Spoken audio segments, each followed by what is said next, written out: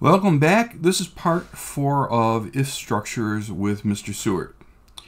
So in this case, we have a little different scenario. Um, we have one motor, and it's going to be controlled by two different switches, switch A and switch B. Let's see here.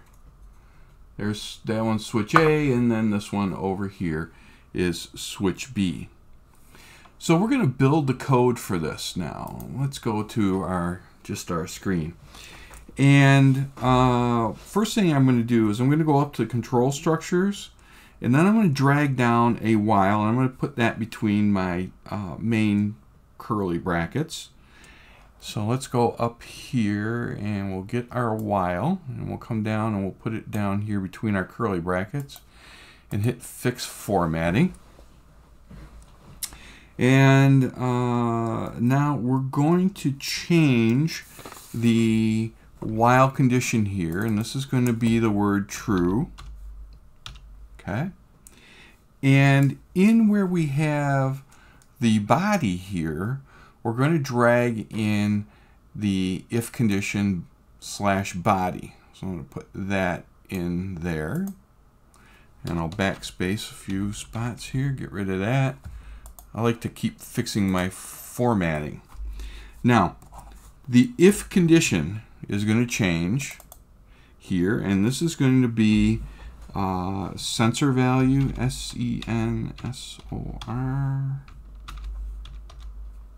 sensor value, uh, open bracket, switch, A, close bracket, and that's going to be equals equals 1. And then the body of this, I'm going to go up and I'm going to drag in the start motor. So start motor goes here. And because in this case, and here's our task description, I didn't read that to you, but if switch A is pressed, the right motor will run forwards at uh, full power. If switch B is pressed, the right motor will run half power backwards. And if no switch is pressed, the right motor will stop. Here, put P on the end of that. There we go. Okay. Uh, so start motor, motor port is going to be our right motor.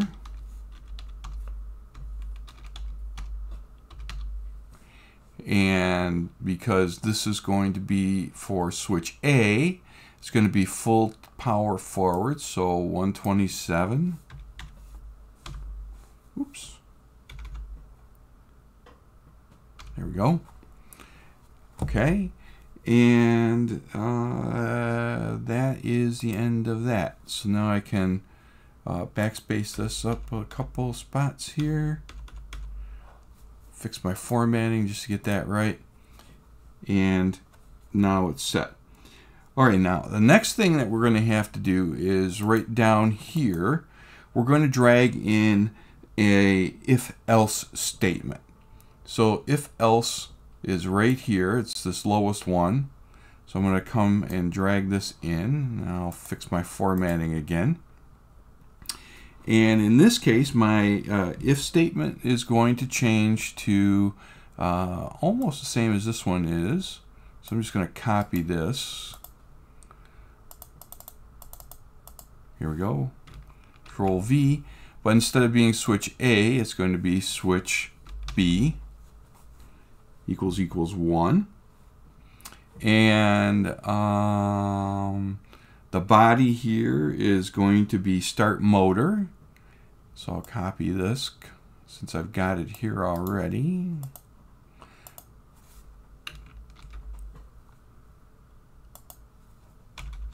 Get rid of the word body.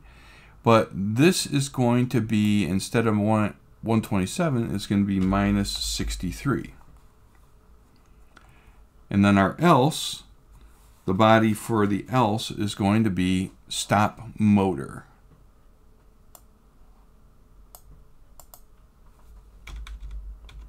And that'll be right motor.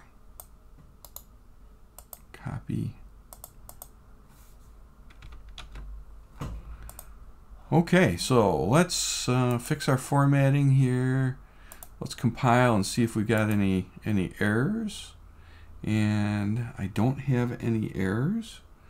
So I can uh, download this to the robot.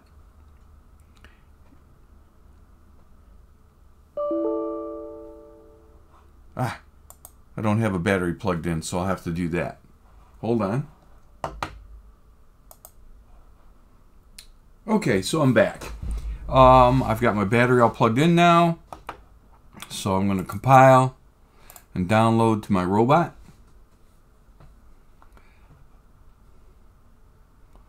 Then I'm going to start. And uh, first thing I'm going to do is I'm going to push uh, switch B. And what I want to do is, is I want to watch down here on my motors to see what those numbers look like. It's a solid minus 63. So the motor's running without doing any stuttering or stopping.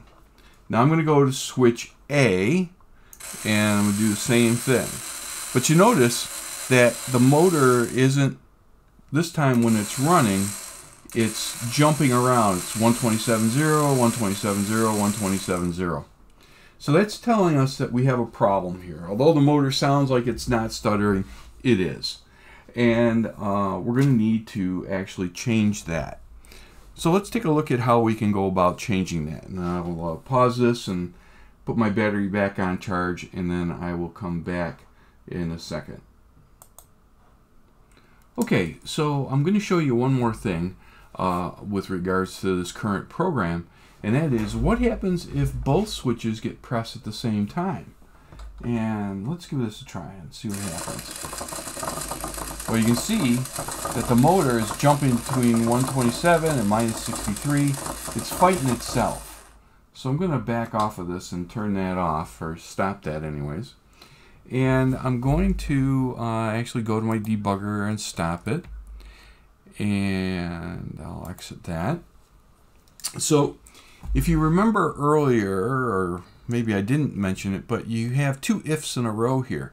And what you really need to do here is you need to bank the ifs with, or yeah, the ifs with an else. I have one if else here, but I don't have uh, two. So I'm going to actually do this. I'm going to close this up.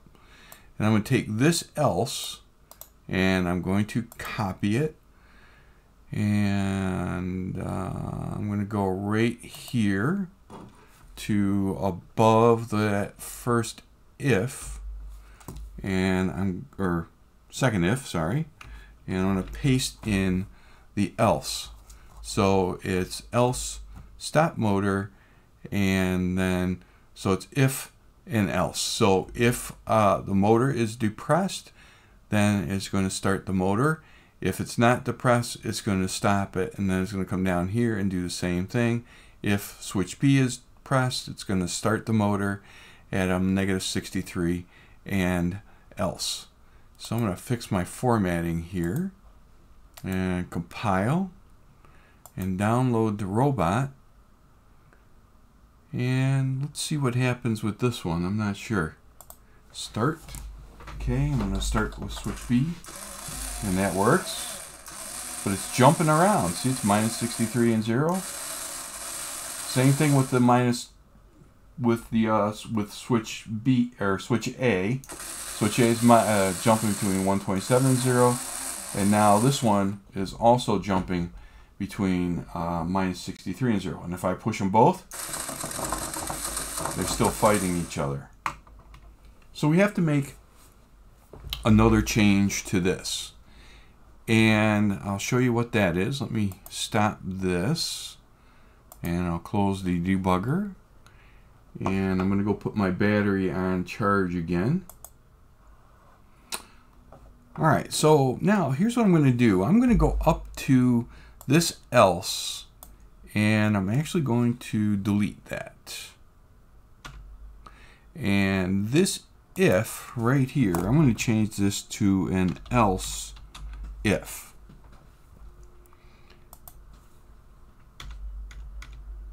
So what I have here is a hierarchy. So the first and most important part of this hierarchy is the if statement right here. This will always run. This is the most important. So switch A is going to be the most important. The else if is our second most important. And uh, then the third most is the else down here. So what this means is, is that the if will always overwrite anything else that is being uh, run at the same time. So let's look at what that means. Switch A being the most important, it's going to run my motor. So I'm going to compile and download to the robot. And I'll hit start. And this is switch A right here. So this should run my motor, and it does. Okay. Uh, then I'm going to hold uh, switch B, and that runs my motor. You'll notice that my motor power is not jumping all around. There's solid now. There's no, there's no stuttering. All right. Now, if I hold switch A, which is the most important, you see the motor spinning counterclockwise there, and then press B, nothing happens. And that's because this is the most important. But if I'm holding switch B and then press A, it rotates in a, the opposite direction. So it's spinning clockwise now. When I press and hold on A, it uh, turns counterclockwise.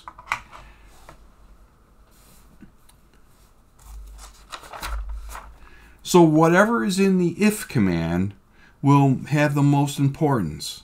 The else if is the second most important, and then the else is the thing that takes over when nothing else is uh, doing any controlling at all. So while structures are used the majority of the time, but if structures are used when you need two things to be true at the same time. Anytime you need to make decisions between two things at the same time, you can use ifs.